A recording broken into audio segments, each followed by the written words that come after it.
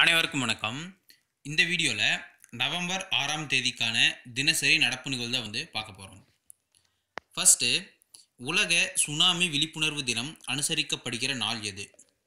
அதாவது உலக சுனாமி விழிப்புணர்வு தினம் எந்த நாளில் அனுசரிக்கிறாங்க அப்படின்னா நவம்பர் அஞ்சு. ஸோ இந்த தினத்தில் தான் வந்து சுனாமி பற்றிய விழிப்புணர்வை வந்து ஏற்படுத்துறக்காண்டி அந்த தினமாக வந்து அனுசரிக்கிறாங்க. இந்தியாவில் எப்போ சுனாமி வந்து தாக்கப்பட்டது அப்படின்னு சொல்லி வந்து நல்லா தெரிஞ்சுக்கணும். டிசம்பர் இருபத்தாறு ரெண்டாயிரத்தி நாலாம் ஆண்டு. ஸோ அந்த அன்னைக்கு தான் வந்து இந்தியாவில் சுனாமி வந்து தாக்கப்பட்டது. ஸோ இந்த இந்தோனேஷியாவில் தோன்றிய வந்து ஒரு பூகம்பம் வந்து இந்திய பெருங்கடல் இருக்க ஒட்டியுள்ள நாடுகளை வந்து தாக்குச்சு. அடுத்து ரெண்டாவது. டென்னிஸ் போட்டியில் ஆயிரம் வெற்றிகளை குவித்த நான்காவது நபர் யார்? அதாவது டென்னிஸ் போட்டியில் வந்து ஆயிரம் வெற்றிகளை குவித்த நான்காவது வீரர் கூட சொல்லலாம். யார் அப்படின்னா ரஃபேல் நடால். ஸோ இவர் தான் வந்து சமீபத்தில் ஆயிரம் வெற்றிகளை வந்து குவிச்சிருக்காரு. இதற்கு முன்பு மூன்று பேர் வந்து அந்த லிஸ்ட்டில் வந்திருக்காங்க. ஓகேங்களா ஸோ இது வரைக்கும் டென்னிஸ் போட்டியில் அதிக வெற்றிகளை குவித்த வீரர் யார் அப்படின்னா ஜிம்மி கானர்ஸ். ஓகேங்களா இவர் தான் இந்த ரேங்க் இந்த வரிசையில் வந்து முதலிடத்தில் வந்து இருக்கார். ஆயிரத்தி இரநூத்தி எழுவத்தி நாலு போட்டியில் வெற்றி பெற்று டென்னிஸ் போட்டியில் அதிக வெற்றிலை குவித்த வீரர்கள் வரிசையில் முதலிடத்தில் இருப்பது யார் அப்படின்னா ஜிம்மி கானர்ஸ் அவர்கள். அடுத்து மூணாவது சமீபத்தில் ஒடிசாவில் உள்ள சந்திப்பூரில் இருந்து டிஆர்டிஓவால் சோதிக்கப்பட்ட ராக்கெட் எது? சாரி ராக்கெட் இல்லை ஏவுகணை. ஓகேங்களா? ஸோ சமீபத்தில் ஒடிசாவில் இருக்க சந்திப்பூர்ல இருந்து டிஆர்டிஓவால் சோதிக்கப்பட்ட ஏவுகணை எது அப்படின்னா பினாக்கா எம்கே ஒன். ஓகேங்களா? ஸோ பினாக்காவோட அட்வான்ஸ்டு வெர்ஷன் தான் வந்து பினாக்கா எம்கே ஒன். இந்த ஏவுகணை தான் வந்து ஒடிசாவில் இருக்க சந்திப்பூரில் வந்து பரிசோதிச்சிருக்காங்க. அடுத்து நாலாவது காஃபி வித் சிஎம். எனும் முன்னெடுப்பை தொடங்கியுள்ள மாநிலம் எது? ஸோ சமீபத்தில் ஒரு மாநிலம் வந்து காஃபி வித் சிஎம் அப்படிங்கிற ஒரு முன்னெடுப்பை வந்து தொடங்கியிருக்காங்க. அந்த மாநிலம் எது அப்படின்னா கோவா. அடுத்து அஞ்சாவது. எந்த மாநிலம் Swami Atmanand government English medium school scheme திட்டத்தை வந்து அதாவது திட்டத்தை வந்து தொடங்கியிருக்கு. அதாவது கவர்மெண்ட் இங்கிலீஷ் மீடியம் ஸ்கூல். இந்த திட்டத்தை வந்து தொடங்கியிருக்கிற மாநிலம் என்ன அப்படின்னா எந்த மாநிலம் அப்படின்னா சத்தீஸ்கர். அடுத்து ஆறாவது. வருமான வரி செலுத்துவதிலிருந்து விலக்களிக்கப்பட்ட முதல் இந்திய நிறுவனம் எது? அதாவது சமீபத்தில் ஒரு நிறுவனத்து ஒரு நிறுவனம் வந்து வருமான வரி செலுத்துவதிலிருந்து விலக்களிக்கப்பட்டிருக்கு. அந்த நிறுவனம் என்ன அப்படின்னா எம்டிசி ரெட்வுட் ஓகேங்களா? ஸோ இந்த நிறுவனம் தான் வந்து வரு வருமான வரி செலுத்துவதிலிருந்து விலக்களிக்கப்பட்டு உத்தரவிடப்பட்டிருக்கு. வருமான வரி சட்டம். ஓகேங்களா? ஸோ இன்கம் டேக்ஸ் ஆக்ட் வந்து எப்போ இயற்றப்பட்டது அப்படின்னா ஆயிரத்தி தொள்ளாயிரத்தி அறுபத்தி ஒன்று அடுத்து ஏழாவது. மிஷன் சாகர் டூ திட்டத்தின் மூலம் இந்தியா எந்த நாட்டிற்கு உணவு தானியங்களை அனுப்பி வைத்தது? அதாவது சமீபத்தில் இந்தியா வந்து சில நாடுகளுக்கு வந்து மிஷன் சாகர் டூ அப்படிங்கிற திட்டத்தின் மூலிமா வந்து உணவு தானியங்களை வந்து அனுப்பியிருக்காங்க. அது எந்தெந்த நாட்டுக்கெல்லாம் அனுப்பியிருக்காங்க அப்படின்னா தெற்கு சூடான் சூடான் எரித்தியா அன்று டிஜிப்டி. அதாவது இந்த குறிப்பிட்டிருக்க எல்லா நாடுகளுக்குமே வந்து அனுப்பியிருக்காங்க. ஸோ ஆன்சர் வந்து அனைத்தும் அப்படிங்கிறதா வந்து சரியான விடை. அடுத்து எட்டாவது. கொரோனா தடுப்பூசி கொள்முதலுக்காக சீரம் நிறுவனத்துடன் ஒப்பந்தத்தை ஏற்படுத்தியுள்ள நாடு எது?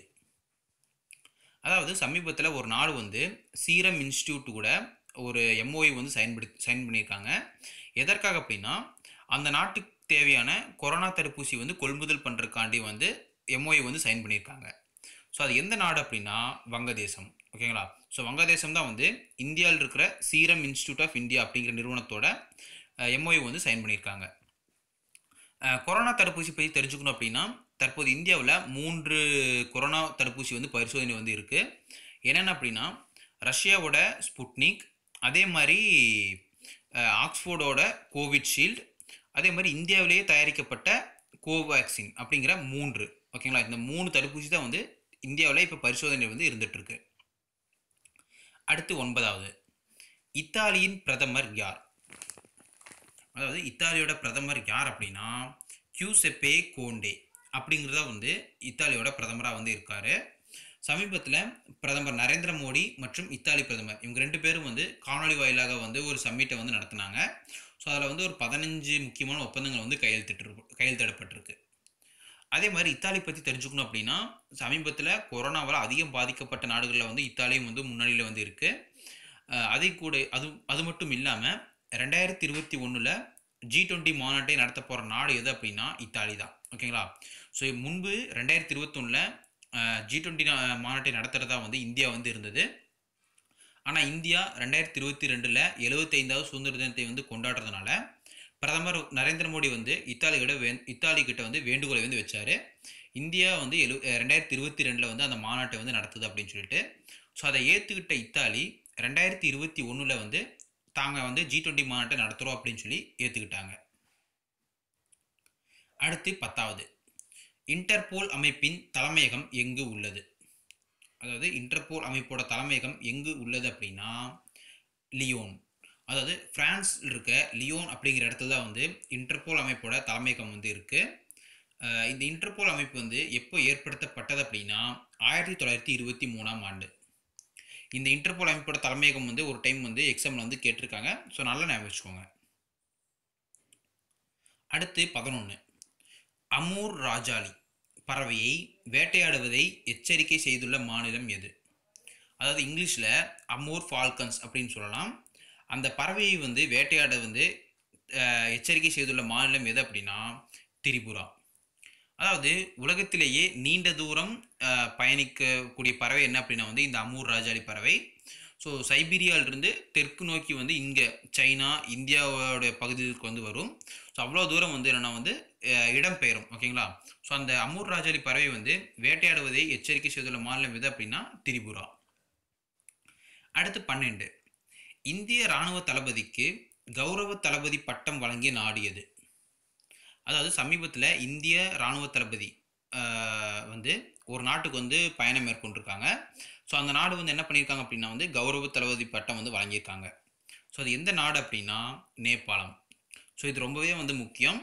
ஏன் அப்படின்னா வந்து சமீபத்தில் அதாவது ஒரு சிக்ஸ் மந்த்தாக பார்த்தோம் அப்படின்னா வந்து இந்தியாவுக்கும் நேபாளத்துக்கும் இடையே வந்து அந்த எல்லை பிரச்சனை வந்து நீண்டுகிட்டு இருந்துகிட்ருக்கு அதாவது உத்தரகாண்டில் இருக்கிற அந்த லிபு லேக் காலாபாணி போன்ற இடங்கள் வந்து நேபாளம் வந்து தங்களுடைய மேப்பில் வந்து இன்க்ளூட் பண்ணி வந்து வெளியிட்டாங்க. ஸோ அந்த இதில் வந்து இந்திய ராணுவ தளபதி வந்து நேபாளத்துக்கு போய் அங்கே கௌரவ தளபதி பட்டம் வாங்கினது வந்து முக்கியத்துவம் பெறுது. அடுத்து பதிமூணாவது. கர்தாப்பூர் குருத்வாரா எந்த நாட்டில் அமைந்துள்ளது? அதாவது கர்தாப்பூர் குருத்வாரா எந்த நாட்டில் அமைந்துள்ளது அப்படின்னா பாகிஸ்தான். பாகிஸ்தானில் இருக்கிற இந்த கர்தாப்பூர் குருத்வாரா தான் வந்து குருத்வாராவில் தான் குருநானக் அவர்கள் வந்து பிறந்தாங்க. ரெண்டாயிரத்தி பத்தொன்பதில் குருநானக்கோட ஐநூற்றி ஐம்பதாவது பிறந்தநாள் வந்து நடைபெற்ற இதில் வந்து இந்தியாவிலிருந்து ப கர்தாப்பூருக்கு வந்து சாலை அமைத்து அங்கே வந்து பயணிகளை வந்து அ- அனுமதிச்சாங்க. ஓகேங்களா? ஸோ சமீபத்தில் கர்தாப்பூர் குருத்வாரா வந்து ஏன் நியூஸில் இடம் பெற்றிருக்கு அப்படின்னா இந்த கர்தாப்பூர் குருத்வாரா வந்து இதுவரைக்கும் சீக்கியர்கள் கொண்ட வந்து ஒரு ட்ரஸ்ட்டால் வந்து மெயின்டைன் பண்ணிகிட்டு இருந்தாங்க. ஆனால் சமீபத்தில் பாகிஸ்தான் அரசு என்ன பண்ணியிருக்கு அப்படின்னா அந்த ட்ரஸ்ட்டை வந்து ரிமூவ் பண்ணிவிட்டு சீக்கியர்கள் இருந்த ட்ரஸ்ட்டை வந்து ரிமூவ் பண்ணிவிட்டு ஜென்ரலாக வந்து ஒரு ட்ரஸ்ட்டை வந்து ஏற்படுத்தியிருக்காங்க. ஸோ அதுக்கு வந்து இந்தியா வந்து எதிர்ப்பு தெரிவிச்சிருக்கு. அடுத்து பதினாலு. எஸ்சி எஸ்டி வன்கொடுமை தடுப்புச் சட்டம் இயற்றப்பட்ட ஆண்டு. அதாவது எஸ்சி எஸ்டி வன்கொடுமை தடுப்புச் சட்டம் இயற்றப்பட்ட ஆண்டு எப்போ அப்படின்னா ஆயிரத்தி தொள்ளாயிரத்தி எண்பத்தி ஒன்பது. அடுத்து பதினஞ்சு. குற்றவாளிகளை ஊடகங்கள் முன்பு காட்டுவது அடிப்படை உரிமை மீறல் என தெரிவித்துள்ள உயர்நீதிமன்றம்.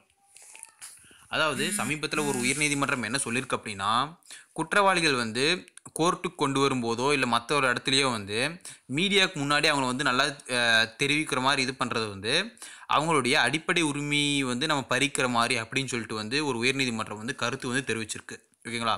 ஸோ அடிப்படை உரிமை இருபத்தி ஒன்றின் படி குற்றவாளிகளும் தங்களுடைய இதை வந்து காட்டாமல் இருக்கிறதுக்கு வந்து நம்ம வந்து வழிவகை செய்யணும் அப்படின்னு சொல்லியிருக்காங்க.